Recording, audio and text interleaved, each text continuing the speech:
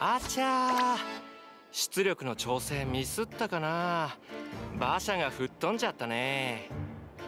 吹っ飛んじゃったねじゃねえよ。ふざけんな。あの馬車には無関係な一般人も乗ってたんだぞ。いやいや無関係だと断定はできないでしょ。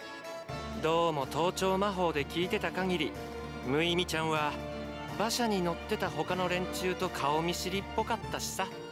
あの子を逃がすために馬車を用意したりとかさ。協力した仲間って可能性もある。まとめて動けないようにしちゃえば余計な手間が省けるよね。可能性ってだけだろうが。どうも他の連中は無意味のことを知らなかったみたいだしさ。可能性の話をするなら無関係な一般人って可能性の方が高えんだよ。あんたのおためごかしにはうんざりだよ。奥藤先輩。こんなことなら頼みを聞いてやるんじゃなかったぜ。ああ胸くそ悪い。いいか？よく覚えとけ。私はな殺し屋じゃねえんだよ。落ち着いて。鼻息荒くしないでよワンちゃん。それよりもどうも連中ギリギリで爆発を回避したっぽいしこっからが本番だよ。お仕事に集中しよう。あ私は抜ける。付き合いきれねえよ。あんたには。ああよく言われるよそれ。僕お友達ができないタイプなんだよね。どうしてかな。一応愛想よくしてるつもりなんだけど自分の胸に聞きやがれクソが。缶はついてこい。現場に急行すんぞ。爆破された馬車の残骸から生存者を救出する。待って待って。僕も一緒に行くよ。正直無意味ちゃんの生死はどうでもいいんだけどあの子が盗んだお宝を回収しなくっちゃね。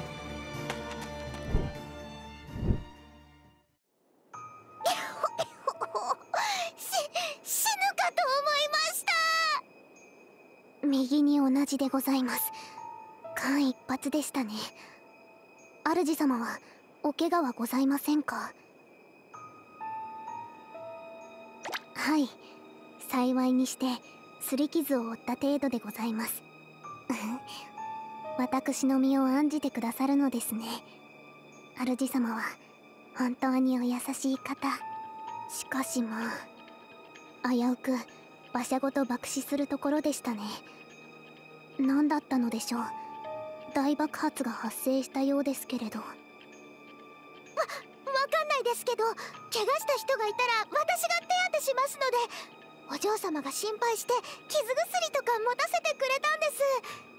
えー、っと治療符はああこれはビリビリする雷神の護符でした。じ自分で回復魔法を使った方が早いですね。えー、っとと呪文呪文。し静かにスズメ様。どうも。まだピンチは継続中のようですよ。ええー、は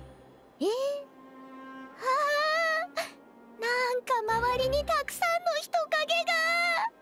と盗賊？馬車を襲撃して金品を奪うならず者ですか？あれはビーストでしょうか？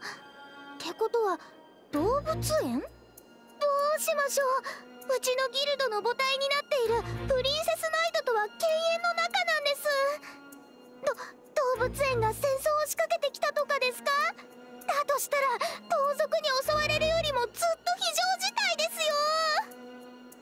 あのスズメ様それどころではないかもしれませんがこの方の治療を頼めますか？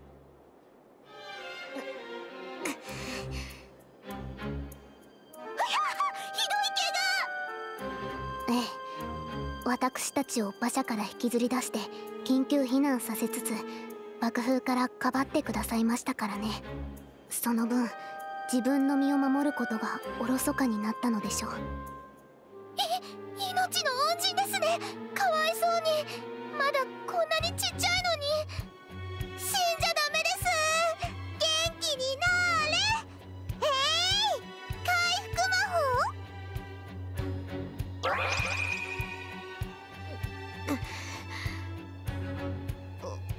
前らさっさと逃げろ。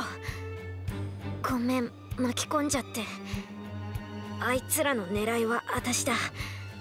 お前らは無関係なんだからな。私を治療なんかすると仲間だって誤解されるぞ。いいんだ私は。一人でも。大丈夫だからもう慣れたからさ。しゃ喋っちゃダメです。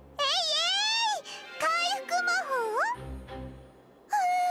今だけはどじらずにちゃんと成功して。応援してくださるんですね。ありがとうございます。あなたに応援されるとなぜか全身からパワーが湧いてきます。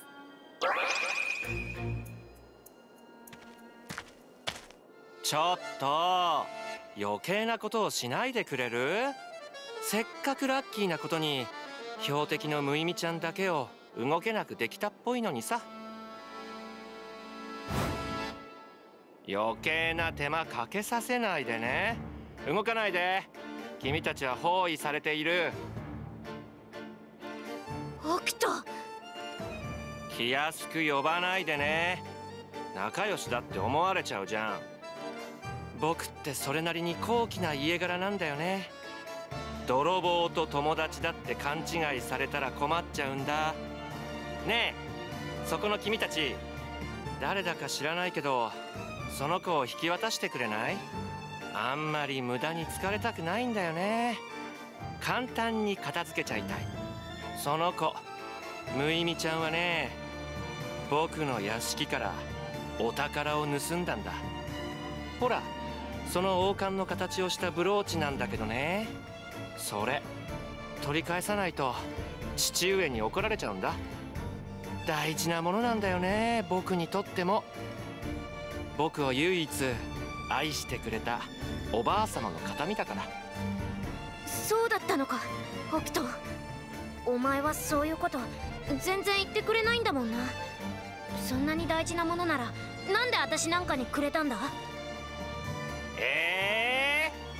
くれたって何なの？盗んだんでしょ？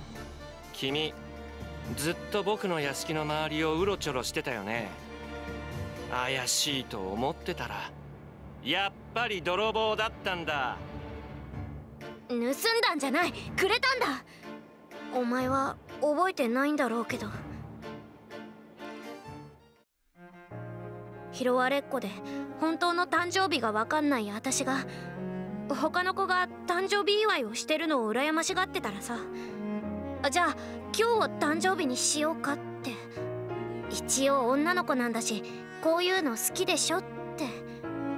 なんで私にくれたんだ？大事なお前が大好きだった人の形見なんだろ？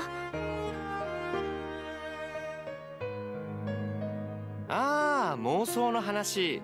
面白いね。僕が君なんかにプレゼントをするわけないでしょ？君って僕の嫌いなタイプだし。なあオークト本当に全部忘れちゃったのか？